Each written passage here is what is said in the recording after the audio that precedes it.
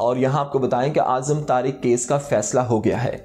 Islamabad high court के justice Mohsin Akhtar Kayani और justice Babar Sattar ने मौलाना सप्तान काजमी के हक में फैसला सुनाते हुए उन्हें बाइज़त बरी कर दिया, जबकि मुखालिफ फरीक की दरख्वास्त की अपील को खारिज कर दिया।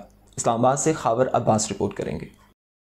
इस्लामाबाद हाई कोर्ट के बेंच में जस्टिस मोहसिन अख्तर कियानी और जस्टिस बाबर सत्तार ने आज़म तारिक केस अपील का फैसला अलामा सप्तैन काजमी के हक में सुनाते हुए मुखालिफ फरीक की दरखास्त अपील खारिज कर दी और इंसदाद दहशत गर्दी कोर्ट के जज शाहरुख अर्जुमन के फैसले को बरकरार रखा, जिसमें फाजिल जज ने अलामा सप्तैन काजमी को आज़म तारिक केस में बरी कर दिया था। जबकि इस्लामाबाद हाई कोर्ट ने भी वकला की बहस और दलाल सुनने के बाद आज़म तारिक की फैमिली की जानब से की गई अपील को रद्द करते हुए मौलाना सप्तैन काजमी को बाइज्जत बरी कर दिया। याद रहे की दो हज़ार तीन में इस्लामाबाद में कत्ल होने वाले सिपा साहबा के सरबरा आज़म तारिक के केस में मौलाना सप्तान काजमी को नामजद किया गया। कोई सबूत न होने के बायस 18 सालों बाद मौलाना सप्तान काजमी को बाइज्जत बरी कर दिया गया। इस फैसले को मौलाना सप्तान काजमी ने हक और सच की फतह करार देते हुए मुतल अदालत के जजों का शुक्रिया अदा किया, जिन्होंने हक और सच पर अपना फैसला सुनाकर बहादुरी का मुजाहरा किया और कहा कि हम पाकिस्तान की अदालत को सलाम पेश करते हैं। रिपोर्टिंग टीम के हमरा Khawar Abbas C N news Islamabad.